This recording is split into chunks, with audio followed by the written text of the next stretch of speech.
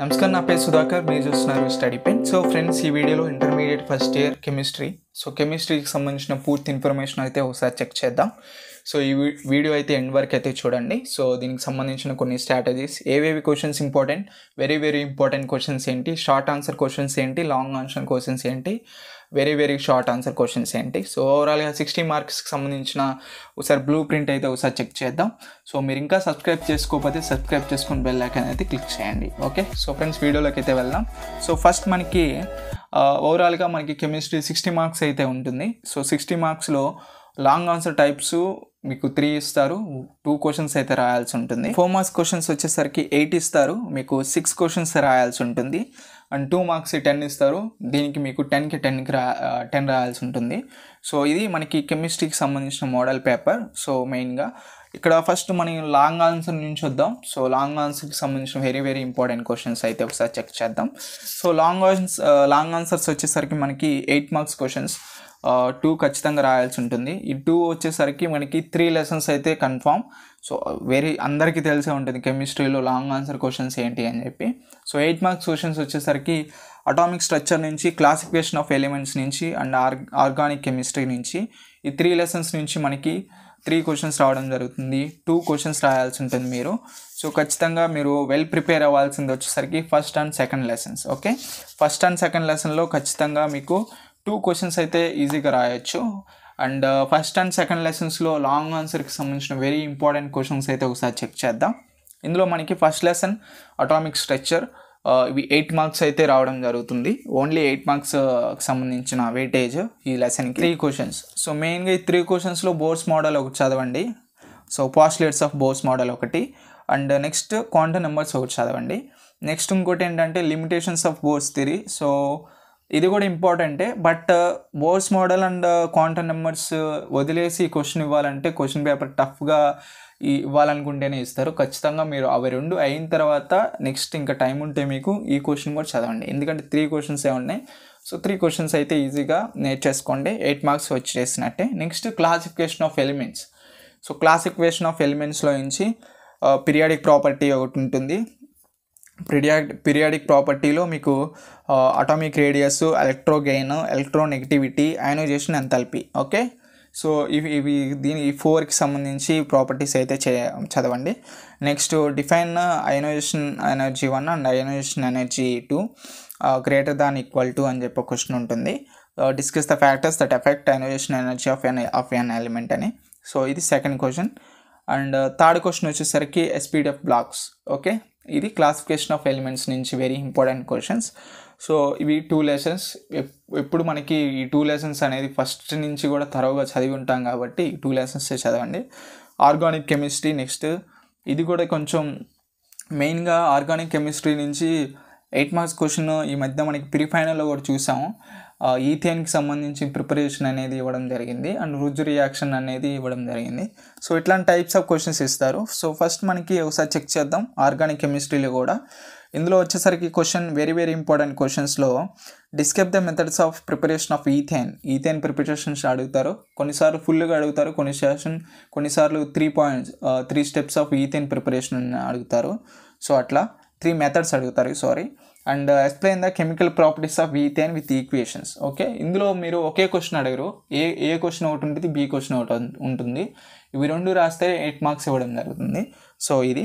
And ఇది ఒక ethane preparation ఒకటి ఇంపార్టెంట్ అండ్ నెక్స్ట్ వన్ వచ్చేసరికి preparation of ethylene okay so ethylene అనేది కూడా ఇంపార్టెంటే ఇందులో బి క్వశ్చన్ వచ్చేసరికి రియాక్షన్స్ ఆఫ్ ఇథలిన్ ఒకటి. అది ozone hydrolysis acid cold and డైలాల్క్ O four దీనికి సంబంధించి. Next fourth one O two. So ఇట్లా ఇవన్నీ కలిపి ఒక క్వశ్చన్ ఎయిట్ మార్క్స్ క్వశ్చన్గా అడగడం జరుగుతుంది.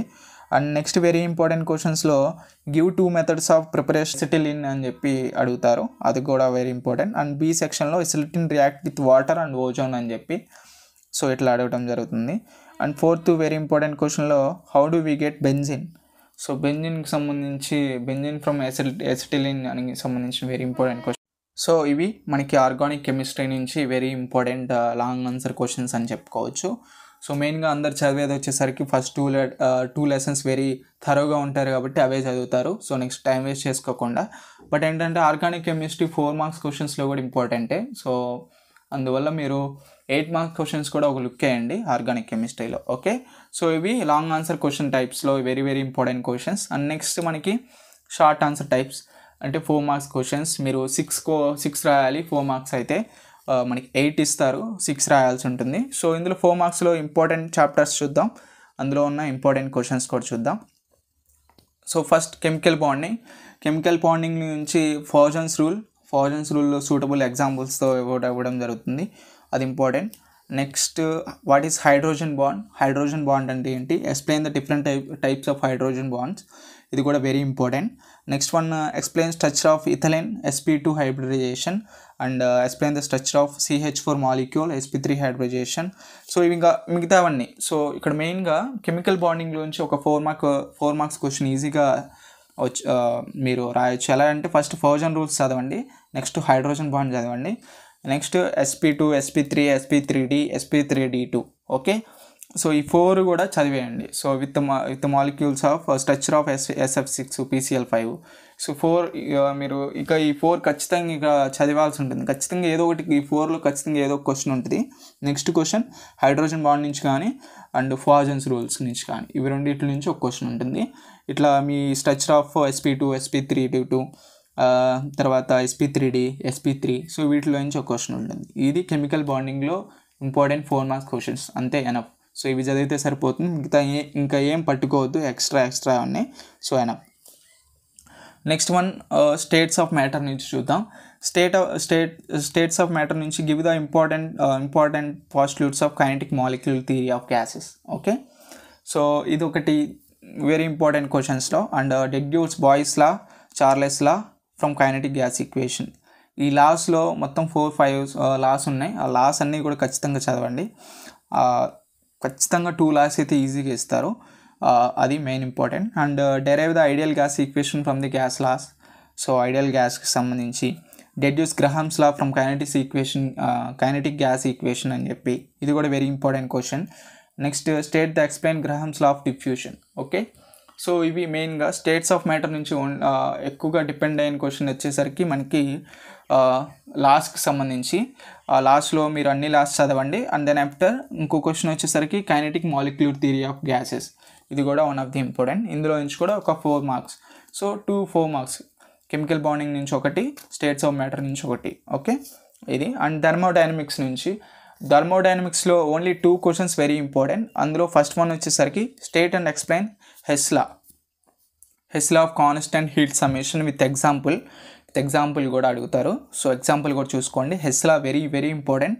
And uh, next question వచ్చేసరికి what are the intensive and extensive properties ఇవి రెండు క్వశ్చన్స్ చదువుకొని సరిపోతుంది. ఖచ్చితంగా థర్మోడైనమిక్స్ నుంచి ఈ రెండు క్వశ్చన్స్ కంటే ఎక్కువ క్వశ్చన్స్ అయితే లేదు. ఓకే సో థర్మోడైనమిక్స్ నుంచి ఇవి అయితే ఇవి ఫోర్ మార్క్స్లో అండ్ కెమికల్ ఈక్వి ఈక్విలిబ్రియం నుంచి ఫోర్ మార్క్స్ ఒక క్వశ్చన్ అయితే వస్తుంది.